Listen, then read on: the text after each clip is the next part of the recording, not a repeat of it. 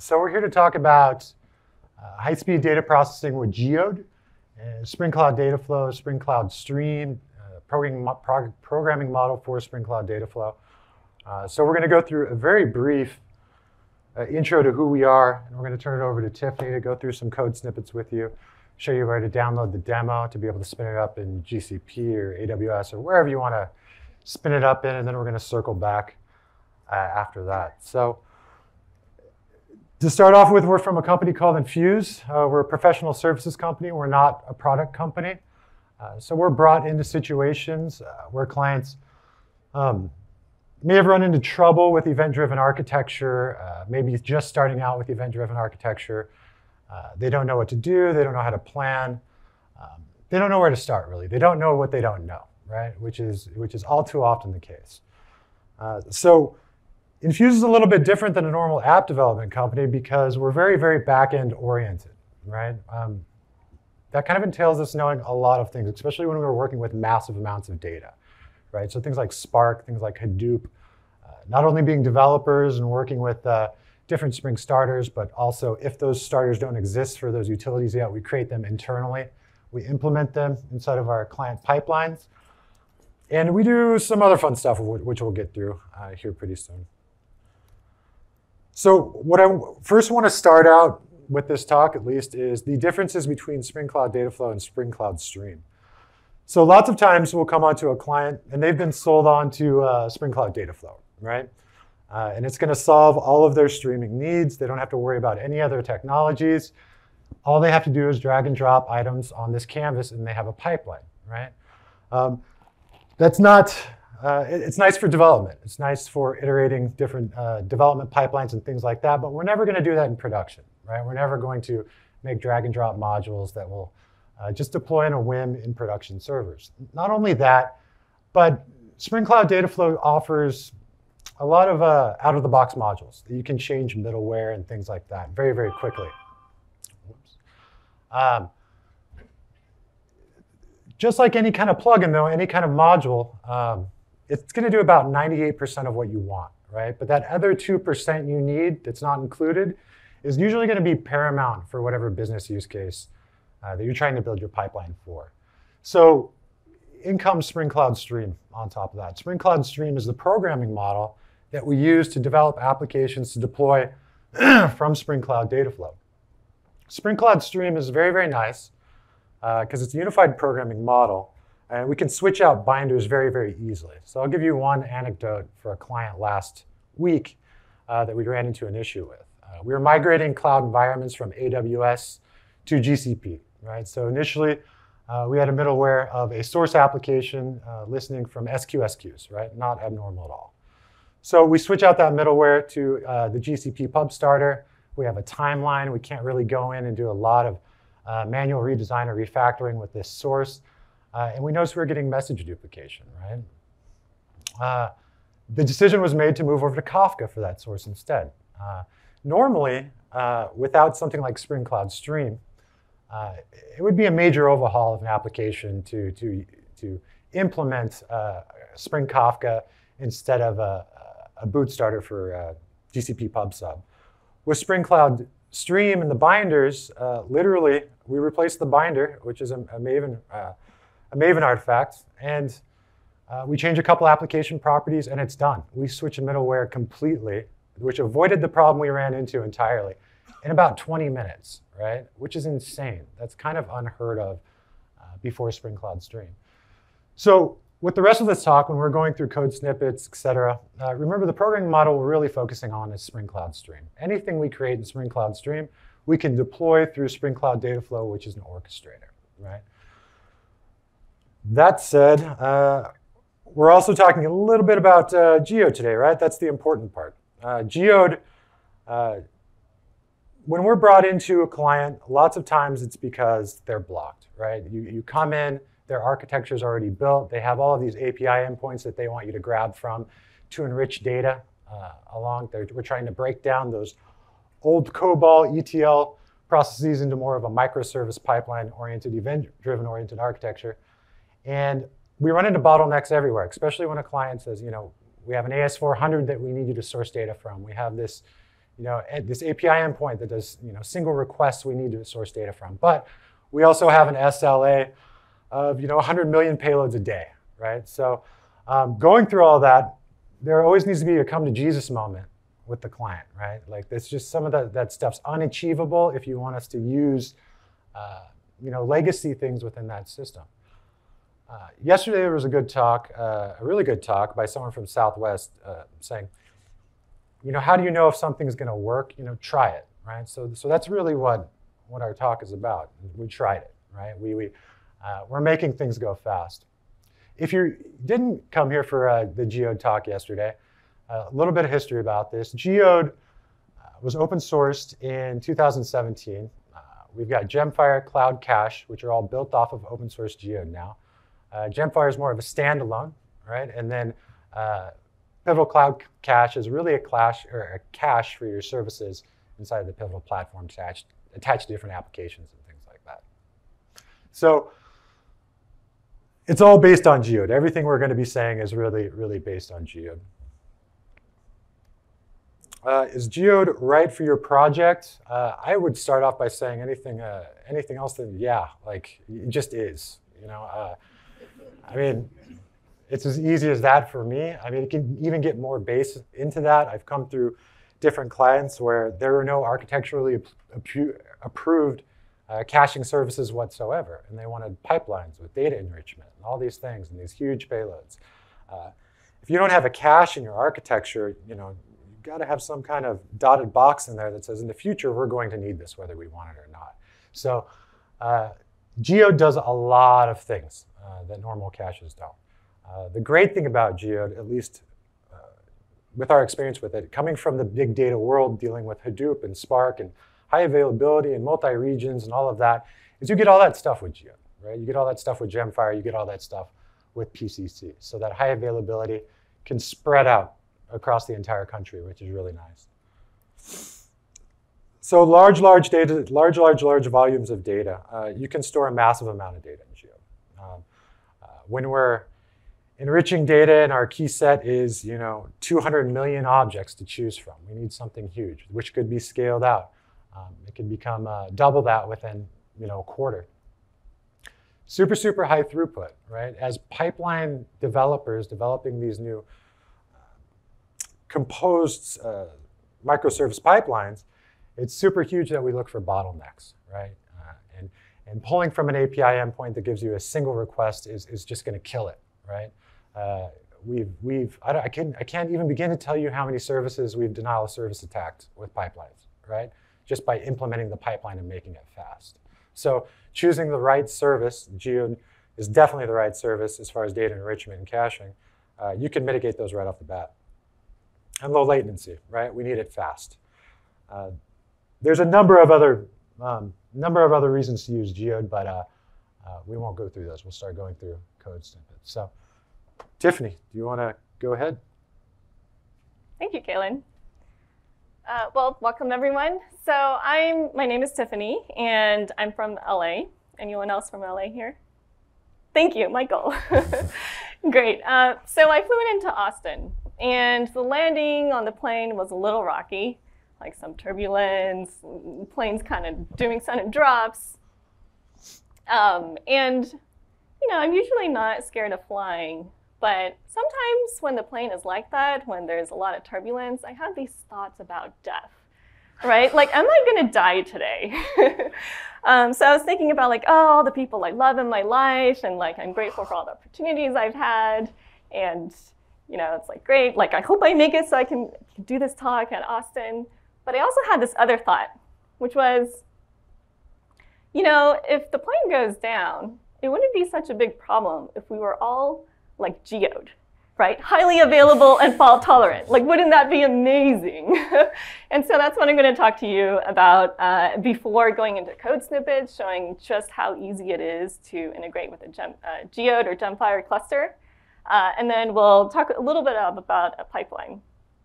All right, so horizontal scalability. Say, how many of you are developers here? All right, most of the room, awesome.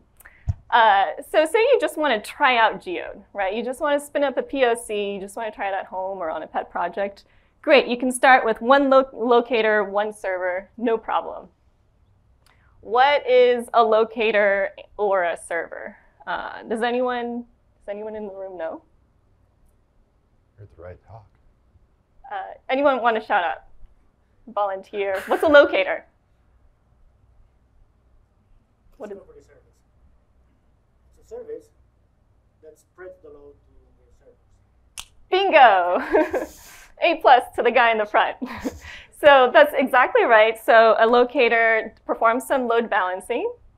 Um, it is one of the members of the geode cluster that has a well-known address.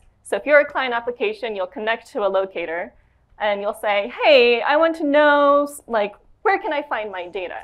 Right? The locator will respond with all the addresses uh, for the servers where you can find your data. Great, so you've got the addresses of the servers.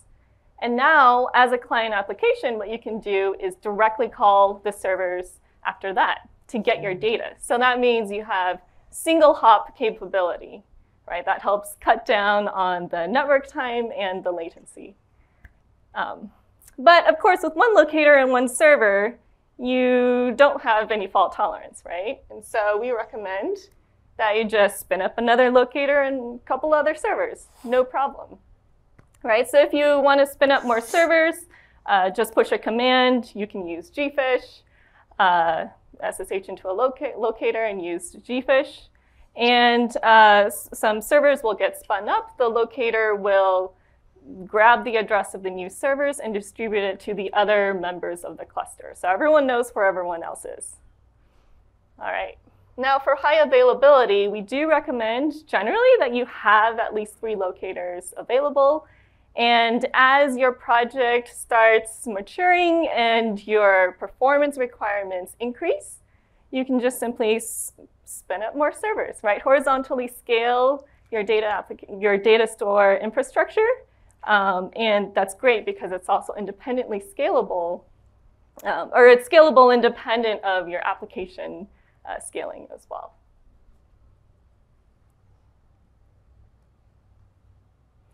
All right, so I mentioned that I'm from LA, and since I'm from LA, I'm always thinking about when the big one is gonna happen, right? When is that large earthquake gonna happen? We're always waiting for it. Um, so suppose that it finally arrives and California falls into the Pacific Ocean. You're gonna have a lot of trouble on your hands, but getting data from your geode cluster is not gonna be one of them. Um, and that's because you can spin up your Geode clusters in whatever cloud availability zones you have. Um, and Geode also is fault tolerant. So what do I mean by that? Um, so to talk about that, I'm going to talk a little bit about some of the basic uh, terminology in Geode.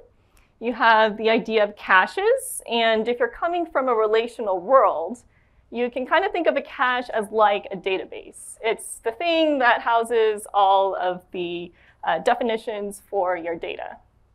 Um, and in geode land, we have something called a region. Uh, so again, just like database, uh, databases are kind of like caches in geode, a region is kind of like a table in geode.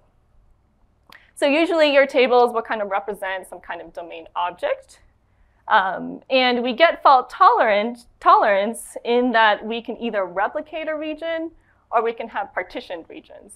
So with region replication, uh, here on the diagram, I represent that with the products region. Uh, you have a full replica of your data set in each of your nodes or each of your caches.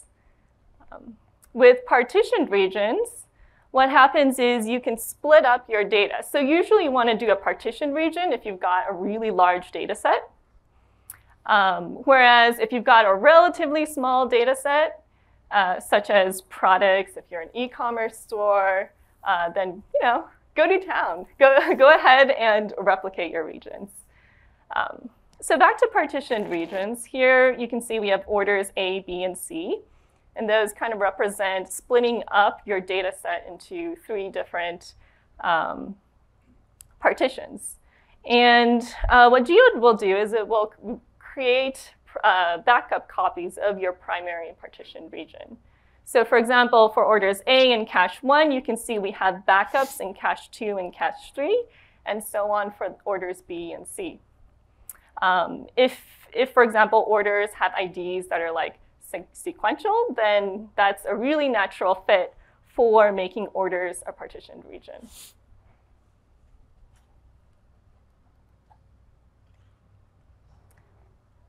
So a lot of you guys here are developers and you're probably thinking like, oh, how do I, great, Geode sounds like it's perfect for me. How do I use it? Has anyone used Spring Boot before?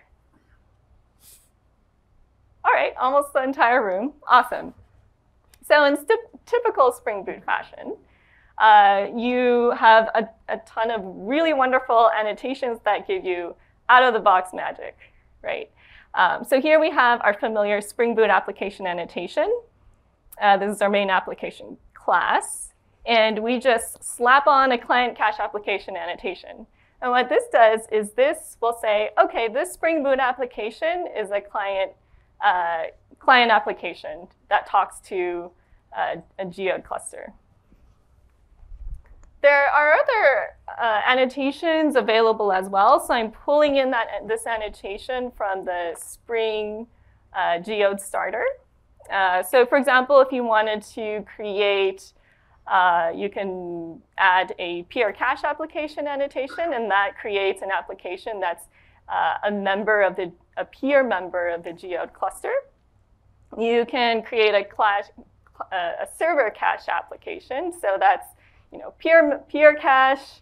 Uh, on top of that, uh, this is a data serving member of the cluster that clients can talk to.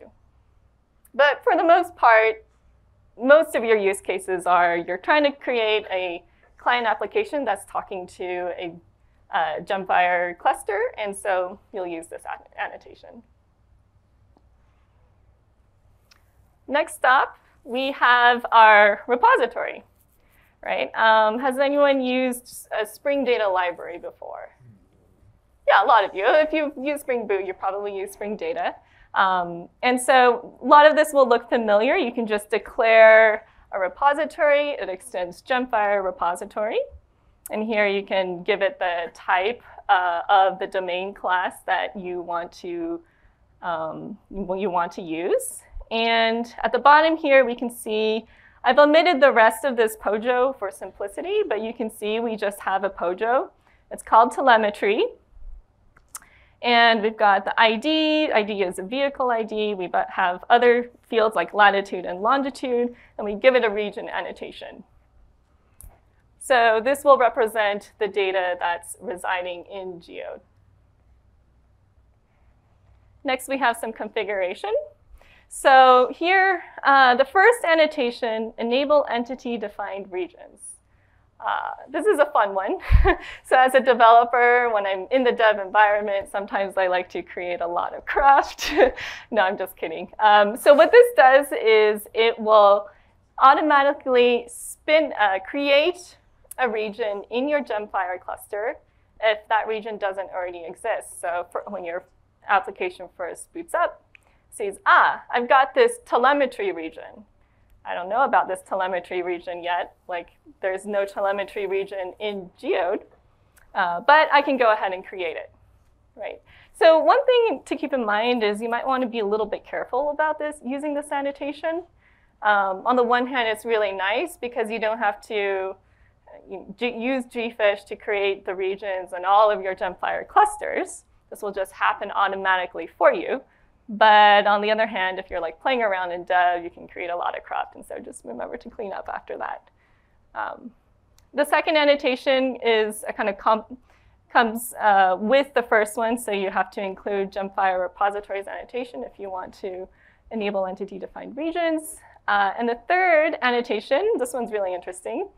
Uh, so this enables PDX serialization and deserialization. Um, so PDX is the serialization protocol uh, that it's highly performant and efficient. You could use Java serialization. Geode supports that out of the box, but it's not recommended. It's a little slow, doesn't perform as well. The nice thing about PDX is, uh, which stands for Port Portable Data Exchange Format, is that it's language agnostic. So on the server side, if you're writing a Java client or if you're writing like a C++ client or what have you, um, doesn't matter. You can write your geode functions in whatever language, um, and they can all use the PDX uh, serialization protocol. Uh, some other features of PDX are that it uh, contains sufficient metadata uh, to enable server-side indexing and querying without having to do full object deserialization, right? So if your query only cares about a certain fields, it'll just do that partial, partial deserialization. Uh, makes it very efficient. So here in our configuration class, we have a bean that allows us to um, connect to our locators. And that's about it. Like, that's all you really need to connect to Geode.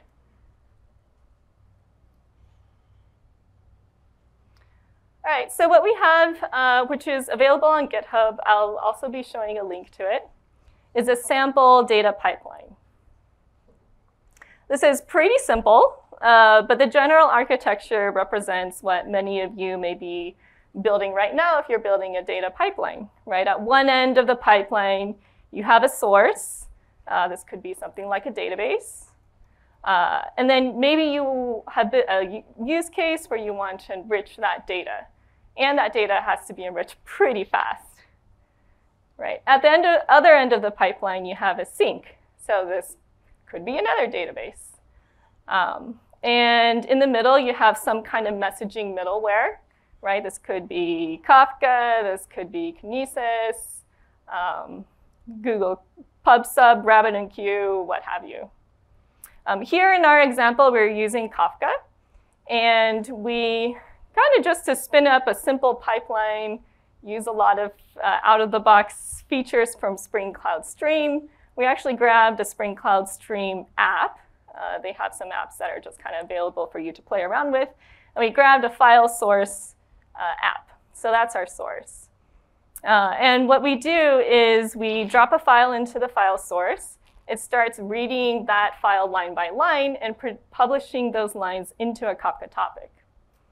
Um, our processor then reads each of these lines. It's using Spring Cloud Stream to automatically uh, stream in these messages. And then it does a lookup in Geode to do a really fast lookup, enrich that data, and then publish it to a Kafka topic.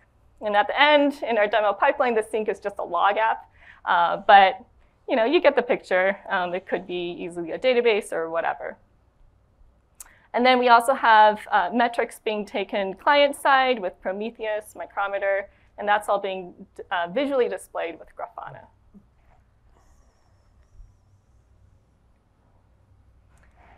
All right, so this is the stuff that I'm personally very excited about. Not just are not are we not only are we talking to Geode, we're also using Spring Cloud Stream, which is an amazing library. If you haven't used it yet, please check it out. Uh, so if you're building a data pipeline, uh, using Spring Cloud Stream gives you a lot of features out of the box, and it also includes really great testing support as well. But at the top, we have an enable binding annotation. And this stuff is just like magic sauce. um, so as Cahlen was uh, mentioning before, say that you're using RabbitMQ, after a while you're like, oh, you know, we've reached a certain level where we think we need Kafka instead. Guess what? You can switch over from RabbitMQ to Kafka without changing any of this code, right? This abstracts the actual middleware technology that you're using. All right, so we have our stream handler down there. Um, is these annotation stream listener and send to are part of the Spring, Spring Cloud Stream library. Uh, it's doing some automatic uh, deserialization and then marshaling into our domain object. Uh, we do a telemetry rep repository find by ID that's grabbing some lookup data from Geode, enriching that incoming message, and then producing that to a Kafka topic. All right, so if you want to play around with this repo, I encourage you, please check it out at enfuse github slash enfuse slash geode demo.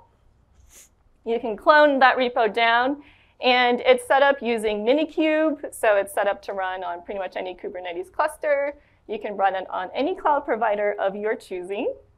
Uh, it's using Spring Boot, of course, Gradle, Spring Cloud Stream, and Spring Geode Starter.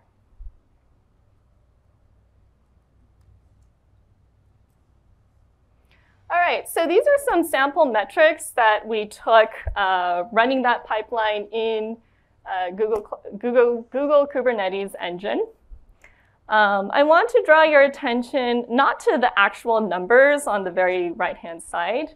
Uh, those, don't, those don't matter quite as much as seeing that if you want to process a million records in a certain amount of time, all you have to do is scale out your geode cluster, right? So with uh, one locator, three servers, um, and keep in mind this is sort of getting metrics on our whole geode working within our pipeline, and so we're also looking at, we're also using default settings for um, streaming the uh, top uh, messages from our Kafka topics. Uh, with one Kafka top topic, one partition, et cetera, we're ingesting uh, a million records within 15 minutes. Uh, but if you just scale that out, you can get it close to one minute, right? And the second thing I want to draw your attention to is when we swapped out Geode for Postgres in our pipeline, it took at least four times as long to process that same data. Right, so Geode in memory, a lot faster than if you're trying to, you know, grab from disk or SSD. All right, and these are, um, if it, just to clarify, if it wasn't clear, these are client-side metrics. If you want to go more in depth into server-side metrics, there was a really awesome talk yesterday by Helena Bales.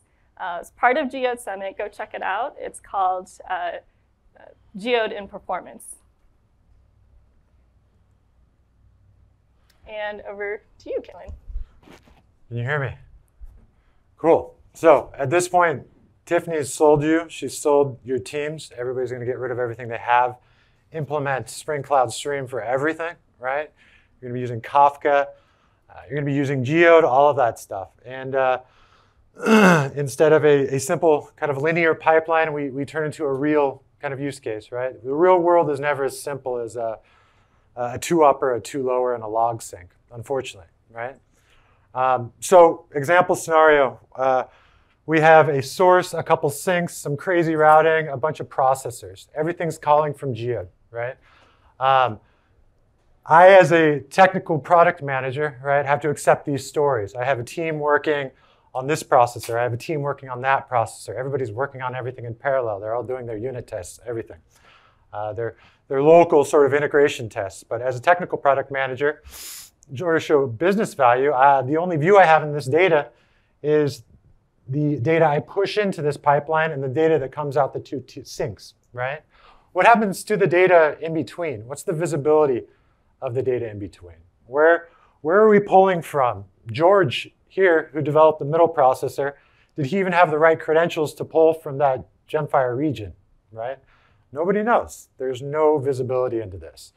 Uh, fortunately, we were able to talk a little bit last year about a thing we called continuous uh, data governance. Right? We've been partnering with a company called Data Drift that's still in, in stealth mode. Um, but they've been improving over time. And I wanted to go back to the code snippet that we just saw. And there is a code snippet in here that may have, Tiffany didn't talk about, right? It's the at data drift snippet, right? It doesn't really affect anything that you do in your code. You as a team member are just required to put your code in there. It supports fan in, fan out, any kind of metadata you want to roll along with. It's automatically going to track data in and out of that processor, that transformation, that source, or that sink. It's going to collect it, visualize it. Uh, these guys have done a great job of scaling out their backend. Uh, so it's not a bottleneck in any of these pipelines for the developer experience. It doesn't hamper you down at all. Uh, it's very, very quick. So when we get to some situation like this, um, Enfuse was really interested in this partnership and working with this, uh, this Datadrift thing. uh, because it's super nice to debug our pipelines. We work exclusively in Spring Cloud Stream. We've, we've, we've done you know, Lightbend, we've done Google, Google Dataflow, we've done a, a bunch of different streaming platforms. We choose Spring Cloud Stream to work with. It's, uh, it's just too, e it, it's too easy, right? It's too easy. Uh, there's lots of Java developers, um, and it's very easy to, to get them to learn uh, Spring Cloud Stream programming paradigm. But in order to debug these pipelines, we need that visual nature. We need to know what's happening after here. If, if, my, if my backend is Kafka, if my middleware is Kafka, the only way I'm going to be able to see what data is actually being put into each topic in between of these modules, um, each one of these, these processors, is if I consume manually in a console. Even in Confluent uh, Control Center, you cannot yet visualize or, or pull pieces of data out of a topic just to inspect. So, so it makes it very, very difficult for story acceptance uh, uh, with only your, your base things. And people can go wild. Anytime, anytime there's a bit of data or a processor here that you implement on a team, uh, if it's pushing data into a topic that's not you know, Avro serialized with a schema registry or something like that, you have the possibility to infect downstream data. Right? So having that ability to visualize that data in between applications without having to do anything is very, very nice. So this is not good enough, right? Uh, this is a very simple, uh, a very simple UI they call data mesh. Again, they're still in stealth, so you know, don't judge them too much by looks right now. But uh, um, it's pretty amazing. Any just with that one annotation, it's taking all of the data into those processors, all of the data, data out of those processors, putting them in a huge big backend uh, for you that you as a data governance team can see. You also have the ability now uh, to put up things like data firewalls right? Um, if uh, GDPR or CCPA, if somebody opts in or somebody opts out, I don't necessarily want this piece of data being sunk to S3 by this, this processor, right? You have the ability to do that now. So this is kind of the missing link for us as a company to be able to sell Spring Cloud Stream more to different clients. Uh, going in uh, without the ability to be able to visualize and, and track this data lineage, uh, it can sometimes be a hard sell. So uh, I didn't want to expose that in here. Uh, I think we're probably out of time. I can't see your hand, but we're close to it. So uh, I get a lot of questions about Enfuse and how we're different uh, than other app dev companies. We deal exclusively with data, right? From data DNFs to everything else. Uh, if we have to do a, a, front end or a UI, we usually make a phone call and call somebody and they come in, right? Um, but we, we, we, we're exclusively uh, back end. We, we have a good combination of labs trained developers, uh, and then we couple that with big data technologies from big data engineers. So we get that nice crossover section. And typically it's from one to the other back and forth. Uh, it's, not a, a, it's not an easy training process, right? Uh, technical product managers run each one of our teams. Uh, we offer communication and transparency uh, throughout the entire process and team building enablement. We have a bunch of people that I don't necessarily want to let go to work on clients full time because uh, they're too valuable, but we certainly build and enable client teams to build up your own team and continuous knowledge transfers throughout that process. Here's some of the technologies and expertise we provide. Uh, of course, Spring is number one. Uh, we love everything involved with Spring. Uh, but again, we work with all these technologies in the back end to enable these pipelines, right? And that's, that's that's just the most popular ones. Uh, typically, uh, uh, there's a bunch of external services within pipelines that we have to deal with. So stay connected. This is our website. This is, the again, the, the, the demo repository. We have some other cool repositories that you guys can clone uh, from there. we have a, a, Medium site, too, that we post blogs onto very, very regularly, all dealing with data pipelining, things like that. So. Uh, thanks for coming. Uh, questions, if there's any time?